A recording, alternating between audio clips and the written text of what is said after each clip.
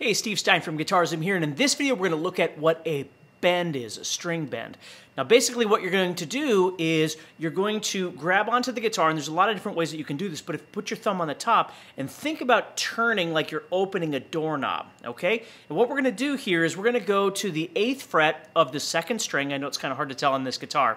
And what I'm going to do is put my third finger there, put my second finger below that, and the first finger below that, all on the same string, and I'm going to push that up in the air. Now the trick is, is to bend it to something. So I'm bending it from the 8th fret, for instance, and let's say I wanted to bend it up a whole step, that would mean I want to bend it to the pitch of the 10th fret. So I bend that, I push it until I hear the sound of that 10th fret. Okay, and there's lots of different kinds of bends that you can learn how to do, and I would strongly suggest learning that. So take care, stay positive, and check out guitarzoom.com.